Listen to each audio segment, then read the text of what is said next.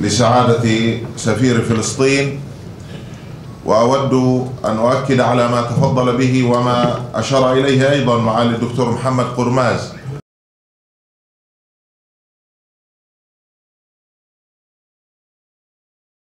نرجو من فضيلة الشيخ أسامة أن يتفضل بإلقاء كلمته مشكورا. مركز القيادة في العالم الإسلامي كله.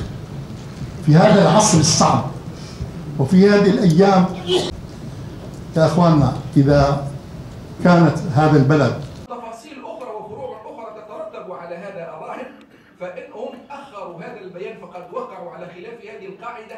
مؤتمركم هذا ونرجو أن تنجحوا في تحقيق أهدافه وأرجو من الله أن يكون اجتماعكم هذا وعد إسطنبول مقابل وعد بلفور بعد مئة سنة إن شاء الله تعالى. وأن تكون جمعيتكم العلمائية رافدا من روافد نصرة القضية الفلسطينية داخل فلسطين وخارجها. والسلام عليكم ورحمة الله وبركاته.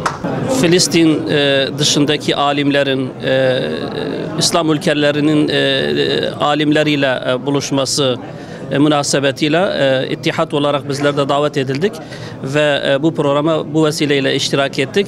Öncelikle e, bu programın e, başta bütün İslam aleminin e, sonra da özellikle e, Filistin davasının e, e, başarıya ulaşmasında hayırlara vesile olmasını temenni ediyoruz. E, biliyoruz ki e, Filistin e, meselesi e, ve bununla beraber bütün ümmetin meselesi İslam toplumunun e, dağınıklığından, İslam alimlerinin dağınıklığından ortaya çıkan, Müslümanların e, birliktelikten uzak kalmasından ortaya çıkan e, bir meseledir. Bütün Müslümanların meselesinin kaynağı bu olduğuna biz inanıyoruz.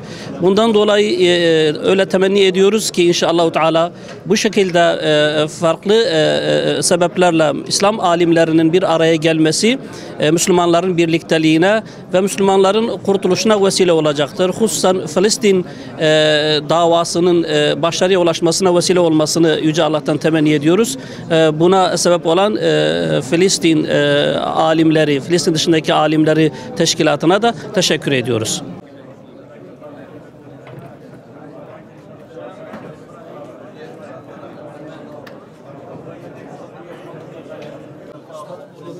ما